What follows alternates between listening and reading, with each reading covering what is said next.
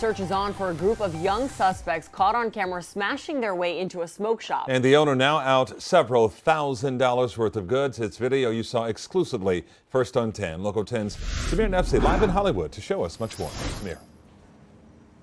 Calvin and Nicole, so this vape shop isn't even open yet. They just had their soft launch next week, preparing for that grand opening. So the owner tells me, of course, as you can imagine, he's frustrated and shocked, left speechless as he was watching surveillance video of these teens going inside his vape shop and swiping hundreds of thousands of dollars worth of merchandise.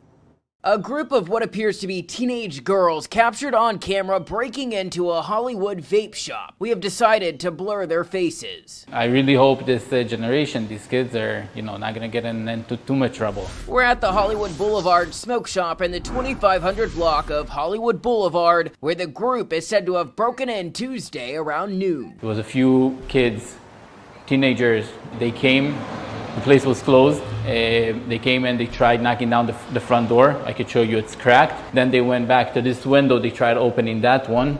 No success. They went into the back one. They smashed it down. Two of the girls captured on camera out back attempting to bust open a window.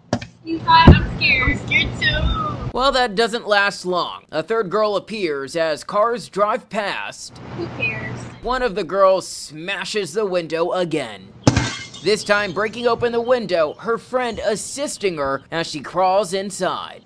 They, they start cleaning everything off the shelves into bags. The teen ultimately trips the alarm then makes a break for the door. It's hard, you know, we're, we're just opening a new business. It makes it hard for us. Minutes later, Hollywood police on scene, guns drawn. Crime scene investigators later captured dusting for fingerprints. We're still, uh, you know, checking inventory. We're still figuring out at, uh, the exact amount that was uh, stolen.